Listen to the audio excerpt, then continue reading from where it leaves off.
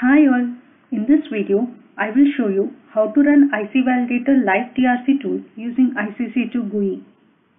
Long DRC runtime on advanced nodes and large designs can impact productivity. At these situations, IC Validator Live DRC tool enables you to perform interactive sign-off design rule checking and helps you to fix violations after incremental checks on active window with the visible layers that in turn results in reduction of total DRC runtime.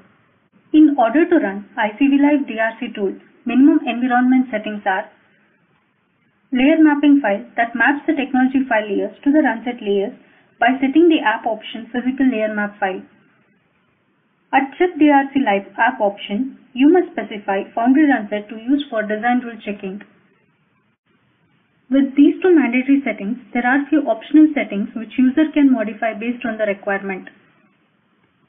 Run directory app option specifies run directory which contains the files generated by the interactive sign-off design rule checking. Keep enclosing results option which specifies whether to keep DRC violations that are outside of the checking region. By default, IC Validator Live DRC tool keeps only those violations that are fully within the checking region. Halo option specifies the distance in microns by which to expand the region where IC Validator Live DRC tool performs checking. Check only visible layers option provides user to select rules based on the visibility of layers.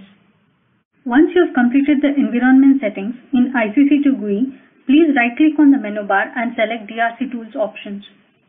Now you can observe a DRC toolbar which appears to configure and run IC Validator Live DRC tool.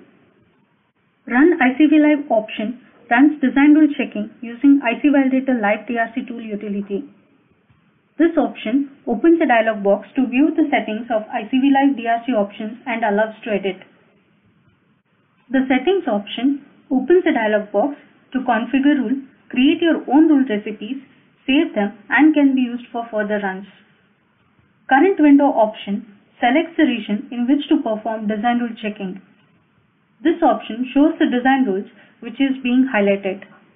In View Settings panel, with the help of hierarchy settings, you can select number of levels, cell types to be displayed in the active window so that layers and cells of different hierarchy are considered for run.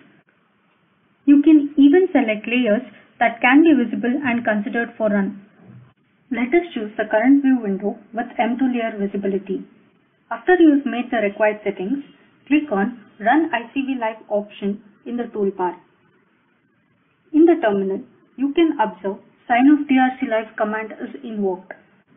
You can check the runtime of ICV Live DRC tool is 11.97 seconds which is less compared to total sign-off DRC runtime. Once the run is completed, the results are displayed in ICC2 error browser.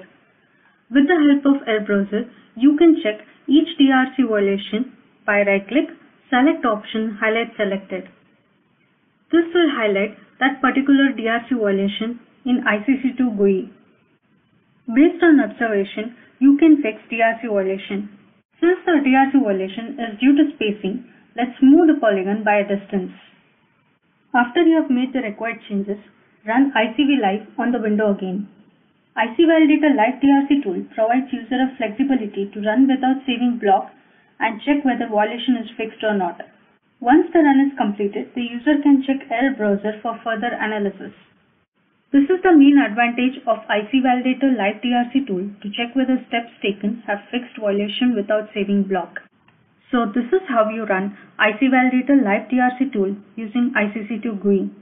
Please check IC Validator Live DRC tool implementation using IC Validator Workbench, Custom Compiler, Fusion Compiler and Cadence Virtuoso Layout Editor. Thank you for watching the video.